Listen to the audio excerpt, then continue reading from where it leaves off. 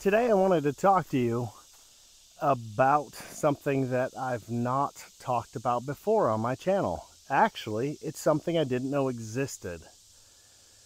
We've all heard about tick-borne illnesses like Lyme disease, that Rocky Mountain spotted fever. But have you ever heard of ehrlichiosis? I haven't either until I was just diagnosed with it a few days ago. On this channel, I usually do fun, light-hearted kind of videos on playing with my Chinese machines out here in the woods, out in the trees. But today I want to talk to you about something really serious. And I think by making this video, I might be able to help some of you just in case you run into something like this, or this might help prevent something happening to you like what just happened to me. So I wanted to talk about tick-borne illnesses. I was just diagnosed with one. I apparently got a tick bite and it transferred some nasty stuff into my bloodstream and it got me really sick and I've been sick for the last four and a half weeks. So I want to share with you my story, what's happened to me, what I did wrong to get this, how I can help you not get it, and keep you safe and keep you healthy, at least to the best of my ability from a YouTube video. Because if you watch this channel, most likely you have a lifestyle that involves going out into the trees and out into the forest like I do. You might have some little machines, you might have a piece of property, and you might have ticks that you encounter occasionally or on a regular basis like I do. And so I wanted to make this video to try to help as many of you as I can to avoid catching a tick-borne illness like I just did. I have a story I feel I need to share with you all. This is not my normal type of content, but it's something that I need to, I feel I need to get out there and have more of you become aware because I wasn't. And I'm learning the hard way. So, I've been pretty sick recently for the last few weeks. Actually, I'm going on four and a half weeks of being sick. And I didn't know why. Not sure what was wrong. I've been to the doctor multiple times, being tested, trying to find out what was wrong. Some personal detail. I felt really sick. I've had a fever, uh, night sweats, waking up, my bed just soaked with sweat. Got to change. Uh, I've got to dry off with a towel. I'm, and then an hour later, I'll wake up and I'm freezing cold and I go in the bathroom, turn on a space heater, try to keep warm. I've had horrible, horrible headaches. Usually at the end of the day, in the afternoon and into the evening. And that's usually when I film my YouTube videos. But I just haven't felt motivated uh, I've just been so tired. Uh, my whole body just kind of aches. My head hurts so bad. I haven't, I haven't really done anything. So I went to the doctor. They gave me a flu test. They gave me a COVID test. It's negative. They gave me some antibiotics. Gave me a steroid dose pack. I finished those, and they said, if after three days you don't feel better, come back and see us. Well, stubborn me, I didn't. I waited another 10 days so I had a weird rash breakout on my arms. And you could see it's healing now. All the sores are, are clearing up. But uh, my arms broke out with some crazy red rash all over. And they got scabby and yeah, I'm still not quite right. And I was at work, so I was sitting at my desk and my heart was racing and I checked on my Apple Watch and it said 124 beats per minute. That's just sitting I'm like, something's wrong. Like, there's something wrong with me. 124 beats a minute. My normal resting heart rate is like 80 or 90. So I went and told some of my team that I'm going to go to the doctor. I don't understand what's wrong. These headaches, all this. And one of my one of my guys said, "Hey, I used to work with someone that that sounds really similar to what they had. They ended up being hospitalized. They had a tick bite and they got sick." I'm like, "Oh crap." Okay, going to the doctor, gonna ask for some blood work. So that's what I did. I went to the doctor. So they do an EKG. Everything looks good with my heart. They do a blood test and it comes back and everything looks normal. And then the next day they come back with another part of the blood test they send to me and they say that two things in my blood didn't look right, and it points to I have an infection. Don't know what, but my white blood cell count was off, and it shows that my body's fighting an infection. I'm like, okay, I wonder what's going on. They did a EKG, my heart seemed good. Uh, they did blood work, it came back positive. Another, I think the next day I get another blood test back, and it shows that there's there's a couple things in my blood that weren't right and they point to there's an infection that my body's fighting an infection something to do with white blood cells and all i'm like oh that's not good what is it they don't have any idea so uh, they tell me go get a prime uh, an, they tell me go get an appointment with my primary care physician and so i schedule that uh, you know, they didn't say need to go to the ER. You know, it's not too serious, right? Like, a, uh, not that big a deal.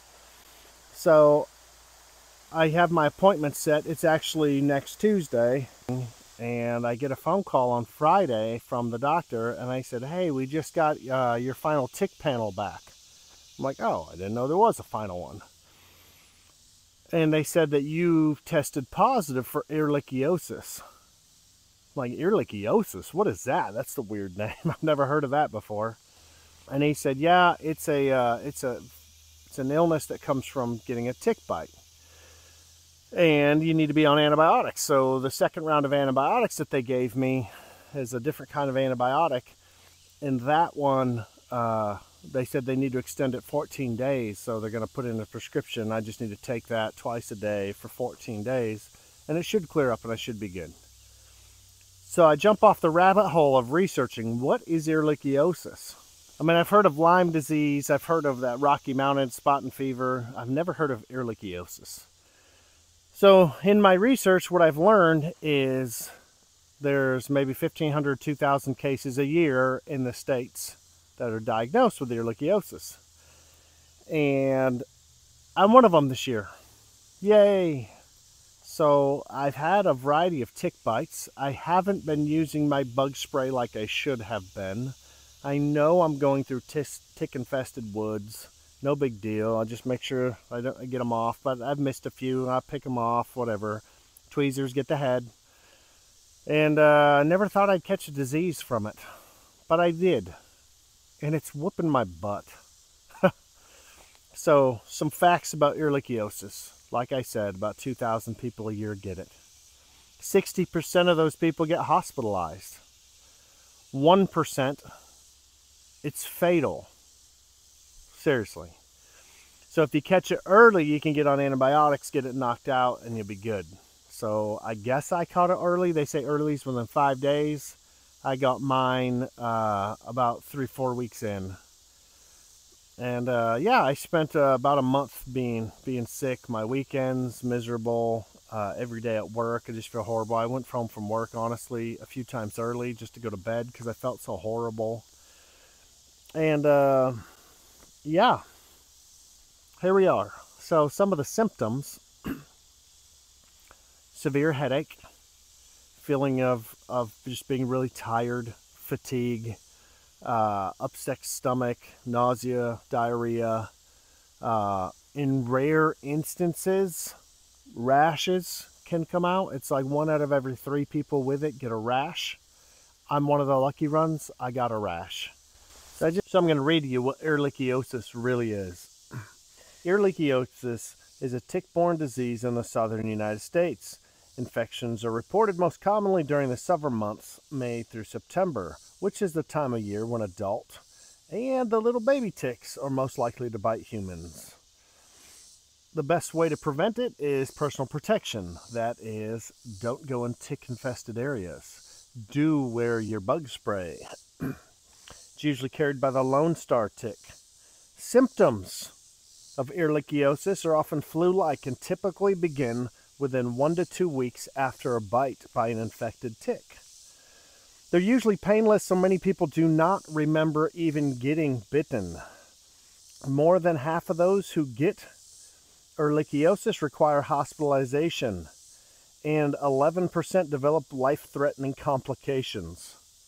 Seriously. Early signs and symptoms, like the first five days of illness, are usually mild to moderate, may include fever, chills, severe headache, muscle aches, nausea, vomiting, diarrhea, loss of appetite, confusion, rash, and fatigue. I can confirm these are symptoms. Signs and symptoms of severe or late stage illness are altered mental state, damage to brain or nervous system, associated with inflammation of the brain and surrounding tissue, shortness of breath, a rash, uncontrolled bleeding, organ failure, and death. 1% fatality rate in adults for children under 5 years old, it's 4%. Adults over 70, fatality rate is 3%. This usually affects little kids and people over 60 years of age. It's more common 50 and up, but 60 to 69 is the largest group of people that get this. And over 70 is the largest age range for people that, that have a fatal reaction to it. So that is not good. Uh, this is a map right here on the screen of where these cases have been reported between January 2018 and January 2023. Look at how many of these are reported in the middle of the country there. Now, I live in Oklahoma. There's been 134 cases between January 2018 and January 2023. 134. That's it. How did I get this? Stupid. All in in that time frame, there were 7,760 cases. So this isn't very common. It is pretty rare, but it does happen. So I just I just wanted to share with you some of the realities of what life is like out here in the trees. It's not all fun and games. I just thought I'd share my story to let you know wear your insect repellent. Spray yourself down. Cover yourself in it. If you're going to go out into the tick, tick infested areas like a lot of us do, you know, with these Chinese machines, these mini skids, excavators, all these, we're out in the woods, you know, we're doing stuff in the trees, we're doing stuff in the yard. So all of us, just about, we're all encountering ticks in the spring, summer, and sometimes into the fall months. Put your bug spray on. You're not being a Sally by doing that. It's pretty darn smart.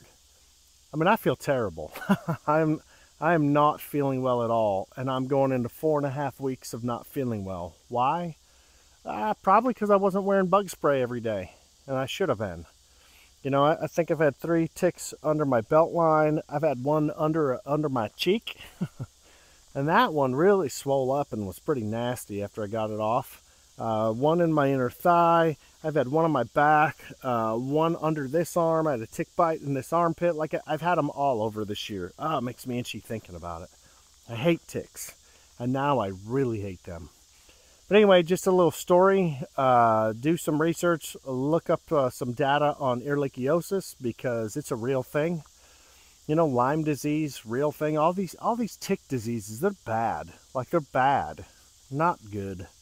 And if you get them, I mean, like it's kind of killing my summer. My July pretty much killed.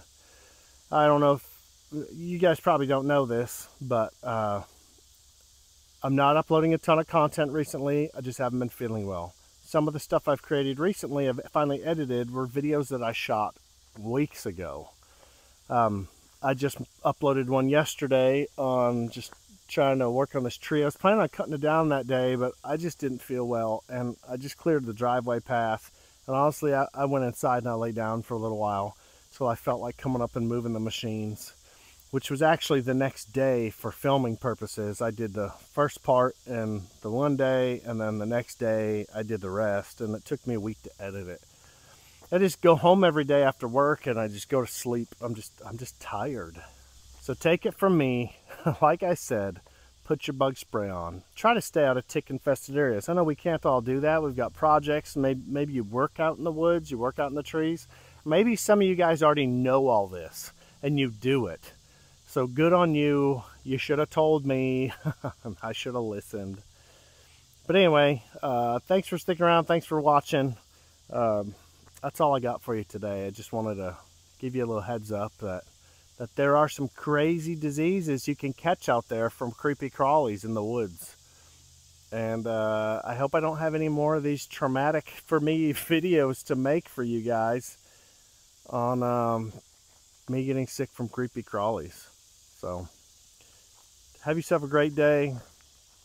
Try to enjoy your time in the trees. I know I always do. Besides that, have a good day.